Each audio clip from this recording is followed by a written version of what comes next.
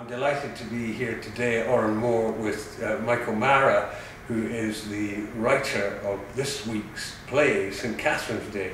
Michael, it's nice to have you here. Thank you. Thank you for the play. It's unusual. Normally, we do this little interview just before the play opens, but we've got the luxury of doing it now that it has opened, and it's gone really well. Oh, yeah, uh, I, I'm very pleased uh, about it.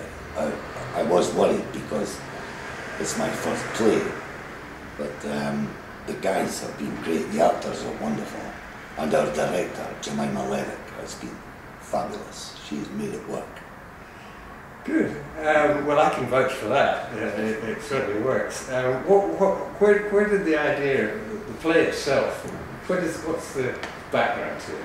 Well, from what I remember, um, it was originally written as a screenplay, and uh, then it was a short story, um, then when I was asked by yourself to make something for here, I thought about a musical, and people have, you know, often encouraged me to write a musical, but the big thing about a musical is a good story. The great ones have a great story. You know, Romeo and Juliet for West Side Story, or Guys and Dolls, another one of my favourites. Yeah. Um, and that is not my area of expertise. but one of my pals pointed out a short story, St. Catherine's Day, and said, that might work on stage. Uh-huh. So um, I gave it to Jemima, and she said that, that she reckoned she could make it work. Great. But you're, you're um, as a songwriter, and that's what you're best known as, you, you always have, I think, a very strong narrative sense. A lot of your songs are telling, it's not telling stories, going on journeys. Well, there is that. There always has to be something in them, or uh, I don't see any point really. But uh, dealing with a story within three or four minutes is very different from you know a, a, a piece which lasts almost an hour on stage. Yes, yes. Very different. It's a different skill, and uh, I intend to try to learn that Well, I hope you, you'll do more of your learning here. I was very grateful for the chance to do it here. No. I mean, you, you don't get many opportunities to try out. You have written a libretto for an opera, Yes, uh, which was done at Dundee Rep. it was. Tell us a little bit about that. It was an operetta called If the Moon Can Be Believed.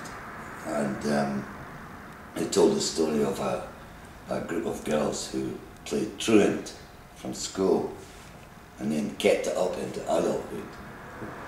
And, um, but I was given a great deal of help by Michael Duke, who wrote the plot points for me. Right, I then had to write the libretto to reach each point. right, right. That, that was an interesting process.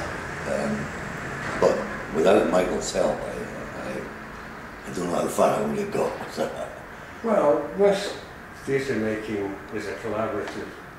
of course, but, but that is a problem with me. I, I, generally I write alone, Mhm. and that is, um, well, it's important to me. Of course. I, I've tried writing with other people. Um, once or twice it has worked. Mhm. Um, but generally, no, I, I like to write on my own. But you like to perform together because you, you toured uh, your show in Flagrant Delict with Liz Lochhead. With Liz. Lochhead, yes. I just did that as an excuse to get our company on tour. no,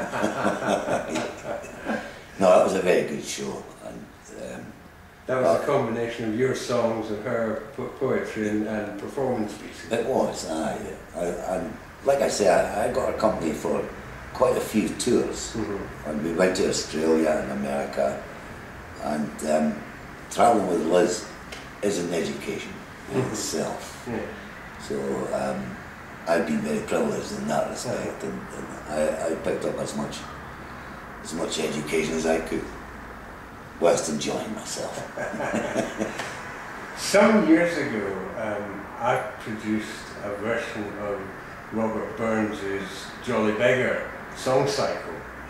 And um, I wonder, as you are such a fine singer-songwriter, whether the idea of writing a dramatic song cycle might appeal to you. Certainly. Um, Can I plant this seed in your mind for Òran Mór? you certainly can. I like every now and then to try and commission a work on video so that the wider public are waiting for it. Yeah, I promised to write as well as Robert Burns for you. Michael, it's been a pleasure talking to you. Thank you so much for bringing us St. Catherine today. Thank you for asking me.